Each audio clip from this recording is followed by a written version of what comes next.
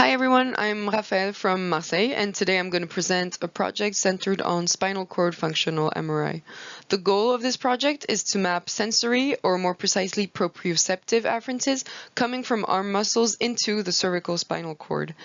This work is done in collaboration with Marseille's MRI INT Center. So Compared to brain functional MRI, spinal functional MRI has barely been explored. For instance, in 2022, only 33 articles were published on this subject. So this is mainly due to strong technological limits that we're now familiar with. So the spinal cord is quite small and quite noisy to say the least, which makes signal acquisition complicated. And um, to this day, spinal fMRI studies have mainly looked at motor activity. So for instance, here you can see this recent study by Kinany and colleagues um, on the specific location of motor activities depending on body segments being moved, here the wrists and the fingers.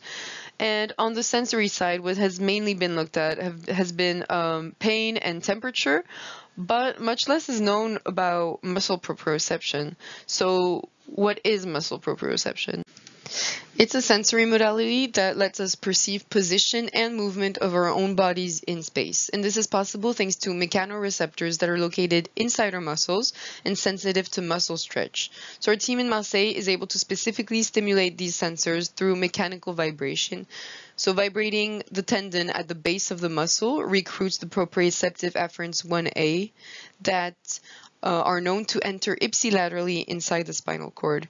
So among these fibers, some will connect directly with the motor neurons of the homonymous muscle, and others will travel along the cord up to the brain, where the integrated information will lead to perception of movement illusion, even though the participant is standing still. So through vibration, we're able to target specifically the spinal propriomotor circuits linked to sensory proprioceptive afferences without people moving. We hence use this technology to investigate specifically the proprioceptive circuits linked to arm muscle in the spinal cord.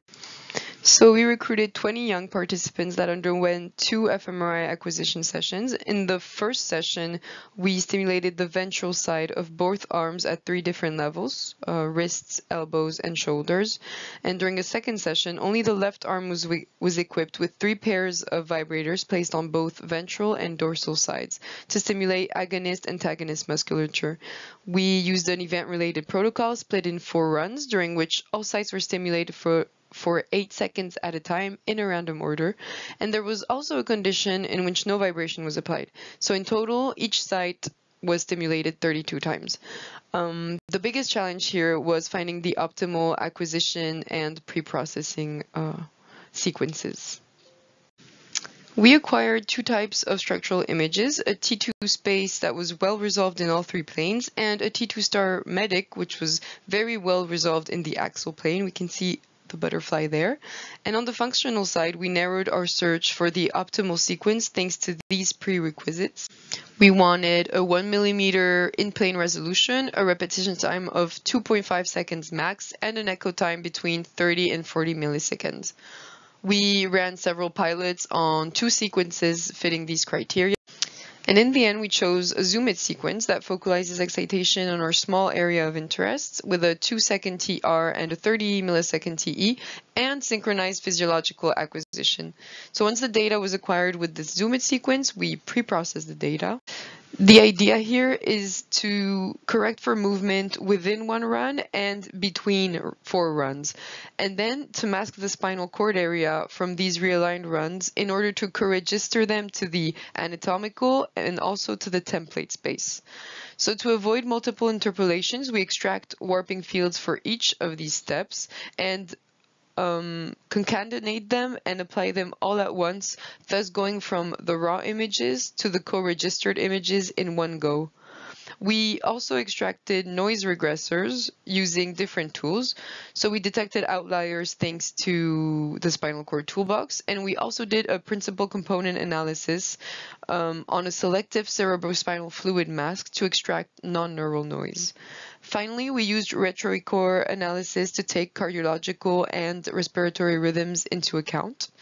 And uh, once we identified these non-neurological sources of noise, Once we identified these non-neurological sources of noise, we smoothed the data with an anisotropic kernel of 1.5 by 1.5 by 6 millimeters, which we limited to the spinal cord area here, thanks to AFNI's blur and mask function.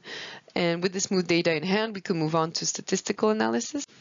We ran a general linear model on each run for each participant with the previously explained nuisance regressors and six vibration regressors and one no vibration regressor of interest. We then group the obtained contrast for each subject run with a fixed effect analysis before using these subject level outputs as input for group level analysis. This second um, analysis is a mixed effect, meaning we take into account the residual variance from subject level and and here are the results obtained from these analyses. So here are shown activations in the spinal cord when we contrast vibration of one arm uh, to the same vibration on the opposite arm. The coronal views show max intensity projection and the actual view is a selected slice from the most relevant activation. So for the anterior deltoid, contrasting vibration of the right anterior deltoid versus the left anterior deltoid leads to a unique activation in the C4 spinal level. Um, on the left side, there are multiple activations with a peak in the C5 spinal level. For the two more distal we the location of activations differed, with activations mainly found at C6, C7 for biceps and C8 for the wrists. We see that the further the limb from our torso, the lower the projection in the spinal cord. This is what we call a rostrocaudal organization of arm projection uh, for proprioception based on the proximodistal muscle location. In addition, as you can see, the activations are mainly distributed on the ipsilateral side. So here more on the right and here more on the left. Interestingly, we retrieved this rostrocaudal organization in the second session as well. So here we contrast each stimulation condition with the no vibration condition. And we see that deltoids and biceps and triceps are located higher in the spinal cord than the wrists, which are located at the last cervical level, C7 and C8. Um, and since we had the opportunity of scanning the same participants twice with partly the same stimulations, we could actually look at the reproducibility of our present results. So here is the activation pattern found during the first left arm versus right arm session for the wrist flexor versus no vibration contrast. And during the second session, we find a very similar pattern. And this is also the case for the anterior deltoid uh, muscle group. So globally, these observations are consistent across two sessions and show that spinal cord fMRI is a promising tool to explore propriospinal circuits in healthy subjects. However, the, these patterns also raise the remaining question as to why several spinal levels were activated for each muscle group and not only the level of projection that we were expecting. So this could be due to intraspinal connections between different levels playing a role in sensory motor coordination or to multiple insertion of 1A afferents via several rootlets through different levels. So in addition, we chose to have a closer look at these patterns by mapping each subject's activations peak. For instance, here we show two main peaks for a subject. For the left wrist flexor versus no vibration contrast.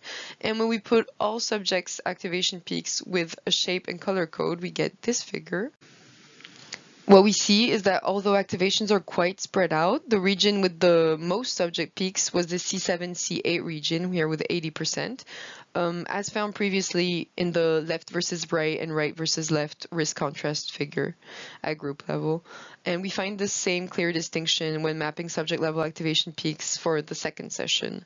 So besides these quite replicable patterns, we see that subject level analysis reveals a quite substantial um, intersubject variability. To sum up, the noteworthy finding of the present study is that at group level we found a rostrocaudal organization of proprioceptive afferent projections with the deltoids on the highest cervical level, the biceps and triceps at the intermediate ones, and the wrists on C7, C8, the lowest levels.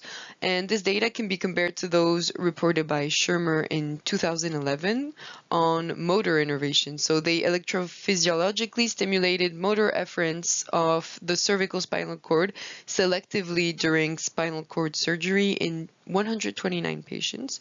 And they also find this rostrocaudal organization with substantial intersubject and interstimulation variability. So these results on muscle innervation mirror our present findings on proprioceptive projections. And this strong variability between people and these overlaps between muscle afferences and efferences, they can be an issue in clinical contexts, for instance, when implanting electrodes in spinal cord injury patients. So the final goal would be to be able to characterize individual maps of sensory and motor circuits using spinal cord fMRI. Thank you to all my colleagues and collaborators and thank you for your attention.